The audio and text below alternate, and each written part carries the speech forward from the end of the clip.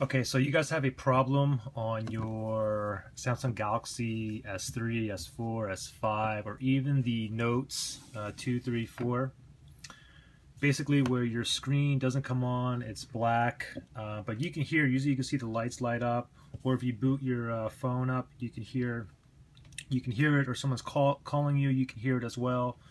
So I have a, like a really easy fix I'll show you guys how to do it. Now you can't do it with the S6 because the S6 doesn't have a removable battery. But if you have this, this issue with the S6, look at my other videos. I show you how to fix it on the S6 as well. Anyways, for the uh, Samsung Galaxy S3, S4, and the S5, basically you want to do this, okay? What you want to do is you want to pop the back up, or pop the back plate off. That's my wireless card.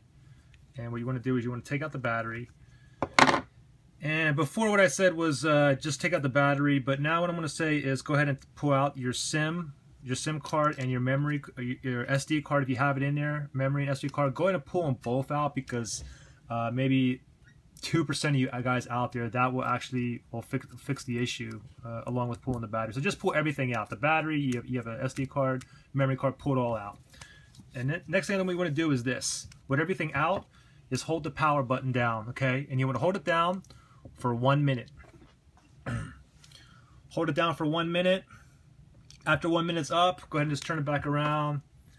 And you can go ahead and just pop the battery in there, turn the phone around, and see if it fires up. And if it does fire up, that's perfect. Then just go ahead and pull out the battery and you can put your SIM card and your SD card back into the device. Now, if nothing, if your screen is still blank, what you want to do is the same thing again, except this time hold it down for two minutes. Hold it down for two minutes, and I call this the one, two, three method. Hold it down for two minutes. Two minutes is up. Go ahead and put your battery back in there and try to fire the phone back up. If it works, you can see the screen, great. Then you just take the battery back out, and insert your SIM card and your SD card.